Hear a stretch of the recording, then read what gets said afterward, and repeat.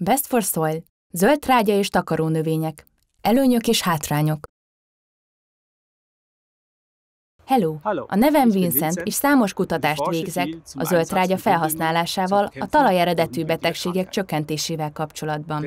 Ezért tudom pontosan, hogy ennek a gyakorlatnak sok előnye van, de vannak hátrányai is. Ezeket mutatja be a Best for Soil ezen videója. A takarónövények és a zöld trágya hatása nem specifikus, és egyszerre érintik a talajeredetű betegségek széles skáláját. Mivel nem egyetlen hatásmechanizmusuk van, rendkívül valószínűtlen, hogy a kórokozók vagy fonálférgek rezisztensé válnának az eljárással szemben. Mivel ez egy természetes módszer, ezért széles körben elfogadott, különösen a fogyasztók és a környezetvédelmi szervezetek körében. A növényfajok domináns csoportjaival, például a zöldségtermesztő rendszerben több káposztafélével használt a vetésforgókban takaró növények vagy zöld trágya használható pihentető növényként, amely megszakítja ezt a sort, és ezáltal csökkenti a talaj eredetű betegségeket. A pihentető növény olyan növény, amely nem ugyanazokat a betegségeket hordozza, mint a főnövény, és ezzel megszakítja a betegség ciklusát.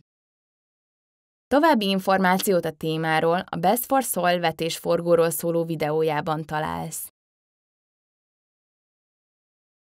A gyorsan növekvő és mélyen gyökerező növények felhasználhatók a meleg nyári és őszi hónapokban a talajba ásványosodott oxigén megkötésére. Ez csökkenti a nitrátnak a talajvízbe történő elszivárgását télen.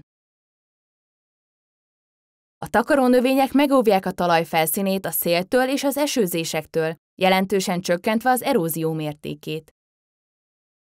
Javítják a vízelvezetést is, ami különösen hasznos heves esőzések esetén. Ezen kívül a takarónövények sűrű gyökérrendszere stabilizálja a talajt, ami különösen fontos lejtős területeken. A talajtéli takarása a zöldítésnek nevezett jogi kötelezettség, a takarónövény helyes megválasztásával ez a kötelezettség egyben felhasználható a talaj állapotának javítására is. Összehasonlítva más szabályozási módszerekkel, például a gőz sterilizálással, vagy vegyi anyagok használatával, sok esetben a takarónövény használata olcsóbb. A zöldtrágya és a növények a könnyen hozzáférhető tápanyagokat visszajuttatják a talajba. A tápanyagveszteségek, különösen a nitrátveszteségek elkerülése érdekében termesztett, megkötő növényzet megtakarítást eredményez, mivel kevesebb műtrágyát kell alkalmazni az azt követő vetésre. A takaró növényzet növekedése javítja a talaj szerkezetét. Mélyen gyökerező fajok, nagy főgyökérrel, például káposztafélék, javítják a vízelvezetés sebességét, és ezáltal csökkentik az esővíz lefolyásos veszteségét. Még a gyorsan növekvő takarónövénynek is nyáron is legalább két hónapos termesztési időre van szüksége, és az év hűvösebb szakaszában pedig még sokkal hosszabb időszakot igényel. Ez idő alatt a földet nem lehet betakarítható és értékesíthető növényekhez felhasználni. Bizonyos speciális takarónövények, például a körömvirág, vagy meghatározott fajták esetében a vetőmag elérhetősége gondot okozhat, ezért ezt jó előre meg kell tervezni. Amikor a mezőgazdasági termelő új takarónövényt termeszt, a növény ismeretének hiánya, valamint a megfelelő vetési eszközökhöz való hozzáférés hiánya komolyan akadályozhatja a növény sikeres termesztését. Néhány országban léteznek olyan rendeletek, amelyek korlátozzák a zöldtrágya használatát vagy egyéb mezőgazdasági hasznosításukat.